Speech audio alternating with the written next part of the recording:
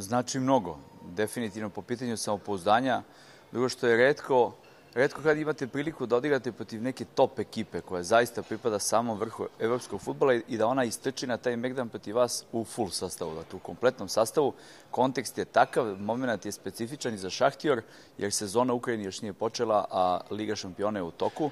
Ovaj tim koji je igrao protiv nas istrčaće protiv Borussia iz Dortmunda u Ligi šampiona. Dakle, to je jedna prestižna stvar za nas, da možemo da vidimo gde smo u odnosu na Šahtjor. E, to je ekipa koja zaista e, ima jednu drugu dimenziju u odnosu na nas i pokazuje ne samo šta znači top e, nivo u Evropi danas, nego nama lično pokazuje, meni lično pokazuje gde će futbal ići i u kom pravcu će ići u nekih narednih nekoliko godina. Jer ja Šahtjor poznajem, Posljednji put kad sam sedao na klupi proti Šahtira, to je bilo u Metalurgu iz Donjecka 2005. godine gledam koja je transformacija Šahtirove ekipe i koncepcije i profila igrača koji biraju u odnosu na to vreme. To je zaista fascinantno. Nije sve u novcu, ima i u strategiji mnogo toga, ima dosta toga i u uređenju poteza i odabiru igrača koji svi bez sumnje pripadaju samom evropskom vrhu i ne bi bilo čudo da neki od ovih momaka koji su juče nastupili protiv nas vrlo brzo, koliko već u junu, e, napuste klub i odu u najbolje evropske i svetske klubove. E, što se nas tiče, nama je utakmica protiv top ekipe značajna, zato što najprostije rečeno svaka se greška plaća i morate da budete skoncentrisani 90 minuta i morate da budete maksimalno fokusirani na zadatak, da odgovarate svemu, svakom zadatku koji, se dogovor, koji je dogovoren u napred, jer bukvalno na ovom nivou svaka vaša najmanja greška ili pad koncentracije se plaća šansama protivnika i golovima. Mi smo uspeli da zadržimo visok nivo koncentracije tokom 90 minuta. Nije bilo lako jer je Šahtio vrhunska ekipa koja nas je stavila pod pritisak. Bilo je perioda igre gde smo uspevali da uspostavimo i pas i kontrolu, što je za svaku pohvalu i bilo je par situacija gde smo dosta dobro izašli visoko i neke lopte čak i oduzeli visoko, što naravno nije bilo osnovno opredeljenje za nas jer igramo protiv mnogo bolje ekipa od nas. E, tako da sve u svemu e, mogli smo čak i da dođemo do gola, da postignemo gol, mogli smo da ga primimo, Bajković je branio penal i oni su imali još par šansi. Međutim, e, za nas nula protiv Šahtira bez primljenog gola mnogo znači na pitanju samopouzdanja, iako ta utakmica ne odgovara e, kriterijumima u našoj ligi, odnosno nećemo igrati protiv ekipe koja je bolja od nas u našem prvenstvu, ali osnovna ideja je bila da se igra utakmica gde nemate pravo na grešku, odnosno da se svaka, pa i najsitnija greška skupo plaća. Ne, po pitanju taktike nije to neka bitna, bitna promjena. Ono što je meni jako bitno su mi juče negde u, u 60. minutu imali uh, taktičku promenu koja je došla kao odgovor na određeni problem koji smo imali u igri. E, taj problem smo rešili. Šahtir nam je zadao ogromne probleme dijagonalnim pasovima i ubacivanjima bekova iz drugog plana. To su zaista fenomenalna kretanja koja se ne seću često u svetskom futbolu, ne samo evropskom. E, e, napravili smo određenu rotaciju, promenili defanzivni sistem, e, raspored igrača na terenu i to je na neki način leglo. I to nam mnogo znači, što smo jedan tako bitan problem od kojih se futbolski rečeno gubi glava u toku 90 minuta, rešili u hodu protiv top ekipe i dokazali da imamo sposobnost adaptacije. Da li će biti sistem defanzivan ovako ovakav ili drugačiji u prvenstvu, to je manji problem. Mi sa istom organizacijom i sa istim rasporedom igrača, ukoliko stanemo 15 metara više, naša ekipa će biti potpuno drugačija i pritisak će se vršiti na drugom delu terena. Ono što je eh, za mene bitno je da kad, se, kad ekipa krene u pritisak, u pressing, da, da nigde ne duva, da se pomera eh, kompletan blok sinhronizovano i to smo uspevali čak i protiv ekipe koja je mnogo bolja od nas.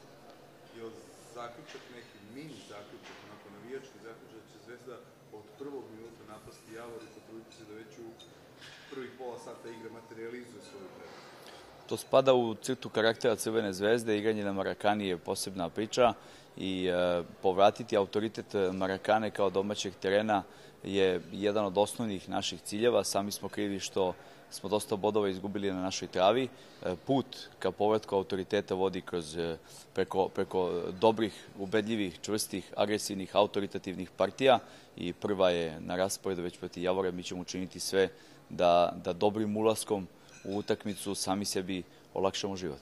Imali smo e, situacije gde e, smo čak bili ajde da kažem, smo imali situacije gde je protivnik pokazio veću želju da pobedi od nas. To se neće ponoviti sigurno. i e, mi smo to instalirali od prvog treninga pripremnog perioda. Uleteli smo ovde malo u, u jedan modifikovani kriterijum suđenja, pa nas je to koštalo, dobili smo neke kartone zbog startova. Međutim, e, meni to lično ne smeta. Mislim da, da su to, ako su i došli kartoni kao rezultat agresivnosti, želje i borbenosti na prijateljskim utakmicama protiv treće ligaša, za mene to plus, za mene to nije minus. E, pričali smo o kriterijumu suđenja, da je ovde malo modifikovano, da ono što bi bio žuti karton ovde je crveni zbog velikog broja prekinutih utakmica, zbog tuča, zbog ekipa iz istočnog bloka koje provode po dva meseca na pripremama u Antaliji, odvojeni od porodice i od svega, da postoji velika nervoza, naročito pred kraj priprema kod svih i da je ova sezona i statistički pokazala da je broj prekinutih utakmica zbog tuča više nego prepolovljen. Dakle, uspelo im je to što su hteli, ali opet svejedno došli smo do do, do e, situacije da taj neki modifikovani kriterijum nas košta crvenih kartona, s pravom zamene do. Međutim, ja lično mislim da to prvi korak ka uspostavljanju jednog kriterijuma koji će da, od kojeg ćemo živeti u narednom periodu, a to je velika borbenost, želja, agresivnost i veliki respekt prema desu Crvene zvezde, bez obzira na ime protivnika i bez obzira na karakter utakmice. E, mi smo od naših igrača apsolutno uvek i u svakom trenutku tražili iste stvari. I na teninzima, i na utakmicama protiv eh, Turskog ligaša i protiv ekipe iz Lichtensteina i protiv Šahtjora iz Donjecka i taži ćemo isto i protiv Javora i skroz do kraja prvenstva. To su stvari koje se ne tiču protivnika, to su stvari koje se tiču nas samih i e, definitivno te neke propuste koje smo imali po pitanju e, voljnog momenta, motivacije, da li to bilo povezano sa fizičkom spremom, sad u ovom momentu više nije ni bitno, ali nećemo dozvoliti da bilo ko želi pobedu više od nas. Apsolutno ima mladosti i selektirana je bar veliki deo po kriterijumima koji se traže u Evropi. Mi smo, eh, apropo sinoćne utakmice protiv Šahtjora, dobili kompletnu analizu iz Šahtjorovog eh, eh, tog fitness centra i njihove scouting službe. Dobili smo sve parametre trkačke gde smo mi apsolutno odgovorili odgovorili zahtevima modernog evropskog futbola, gde smo imali igrače koji imaju po 12 km pretečanih, po 11, imali smo Lazovića sa 12 12.200 metara sa 300 sprinteva u toku utakmice. Imali smo Miljaša Milivojića sa po 11 km i nešto. E, ostali su bili oko 10, 10 i po u proseku. 10 km pretečala Crvena zvezda juče. E, upoređeno sa Šahtjorom bili smo blizu, recimo u Šahtjoru Crvena pretečala 12 km i 800 e, sa 600 sprinteva do duše.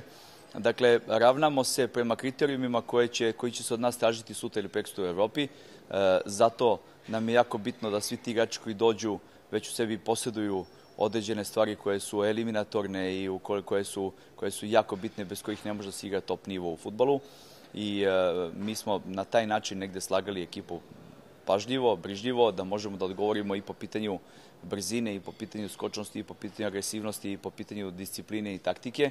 Tako da Naravno da je kontinuitet sad jedna karika koja tu nedostaje, kontinuitet u radu, kontinuitet u, u selekciji, bez velike frekvencije igrača, ni plus ni minus, e, ukoliko poremetite celu hemiju sa 5, 6 ili 10 novih igrača, naravno da morate sve da radite iz početka. Dakle, kontinuitet je nešto što je apsolutno e, neminovno da bi se napravio dobar rezultat. Na kraju krajeva i moj kolega Lučesku, kojeg sam upoznao 2005. u Donjecku, on je već tad bio u neku ruku veteran za nas u evropskim prilikama na klupi Šahtjora sa dve godine staža. Možete ga zamisliti danas, da, znači on negde deset godina sedi na klupi kluba i praktično je sve svoje e, ideje uspeo da instalira ne u prvi tim, već u, u, ceo klub. Tako da u principu kontinuitet jeste jako bitan. E, ja lično mislim da ova ekipa ima veliku perspektivu i uz blage dopune sve na vreme u zavisnosti od profila i u zavisnosti od potreba, jer transferi diktiraju e, našu situaciju koja nije ni malo, ni malo ružičasta i e, u zavisnosti od odlazaka dopunjavati selekciju pažljivo, brižljivo, sa vrlo jasno i precizno postavljenim kriterijumima i da jednostavno u igračima koje dovodimo tražimo ono što će od nas tražiti sutra Evropa kad ih budemo prodavali. Što tiče situacije oko njih trojice, pre svega postoji jedan veliki znak pitanja koji je vezan za licenciranje. Ja lično gledano teneski računam kao da su tu, jer ih treniram, imam ih na okupu i u grupi su mi deo su ovih e, utakmica koje smo igrali. Petković je e, čak i ranije nego što smo svi očekivali uskočio pun takmičarski ritam zato što je došao spreman. Ipak prošao je kompletno uz nas uporedo sa, sa ekipom i, i ovaj trkački deo on je tu i on je standardan i on je jedan od stubova i e, svojim karakterom znači mladi, mladim momcima i mladoj ekipi. Svojim iskustvom doprinosi da ekipa deluje mirnije, stabilnije na terenu i e, lično mislim da je on za nas veliko pojačanje i to momentalno. Ima i taj olakšavajući faktor da ne postoji adaptacija za njega. On je već bio dva puta u Crvenoj zvezdi, emotivno je i vezan od rođenja za klub, tako da poštuje neke osnovne principe našeg kluba i e, nije nov, ni u smislu poznavanja kluba, ni u smislu poznavanja ekipe. Što se tiče Garida, igrač koji po svom profilu jeste interesantan za nas, koji je brz, agresivan, živ, koji je dosta aktivan defanzivno sa e, konkretnim učinkom u fazi odbrane u smislu broja oduzetih lopti. Naravno da postoji određeni period adaptacije koji mora da prođe i kod njega, jer postoji jezička barijera, postoji neke linije kretanja koje je nemoguće uhvatiti preko noći. On je izuzetno pozitivan momak e, koji nam doprinosi ovo i u ovim čušćim utakmicama kakva je bila juče. Primeti se njegovo iskustvo igranja jakih utakmica na, na svetskom nivou. Dakle, on u ovom momentu e, se adaptira po nekom ubrzanom sistemu i e, mislim da to za sad ide, ide sve kako treba. Uvek postoje određene finese, uvek postoji, postoje određene navike ekipe koje, u koje on mora da se uklopi a mislim da će u, u rasponu tri meseca u odnosu na 15 utakmice koje imamo, on definitivno biti pojačanje za nas.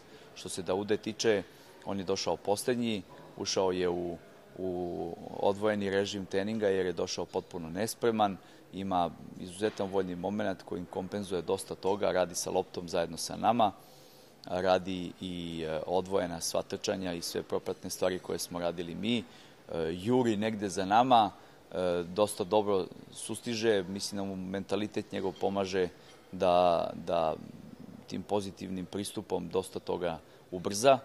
Govori, on je nigerijac sa engleskog govornog područja, engleski jezik mu olakšava komunikaciju i sa igračima i sa nama.